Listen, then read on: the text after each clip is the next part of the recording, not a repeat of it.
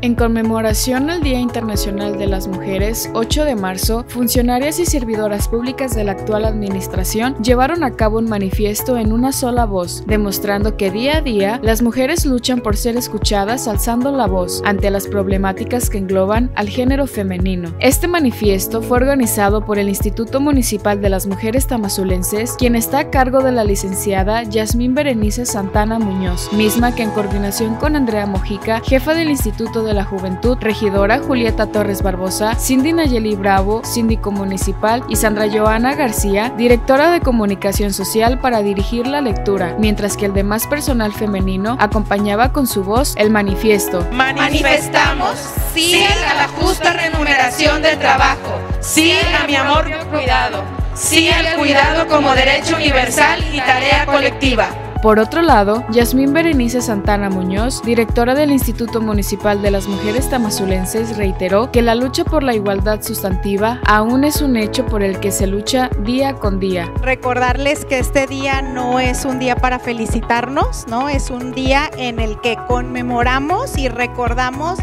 las actividades que otras mujeres han venido haciendo para que nosotros gocemos de los derechos que aún tenemos. Sin embargo, recordar que todavía tenemos muchas actividades por lograr porque esta brecha de desigualdad en la que vivimos las mujeres y los hombres todavía es muy evidente. Gobierno de Tamazula.